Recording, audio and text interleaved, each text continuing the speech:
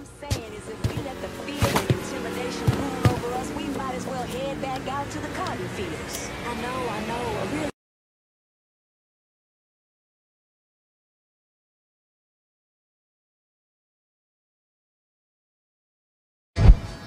I'm so tired of crying, but I'm out on the road again. I'm on the road again. I ain't got Customers aren't allowed in this area.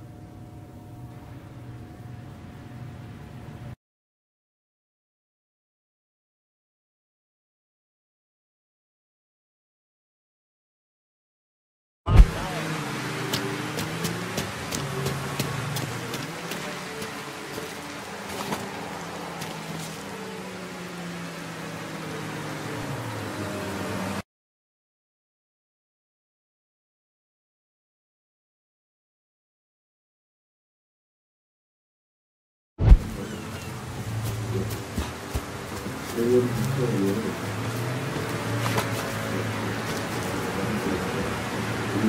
you.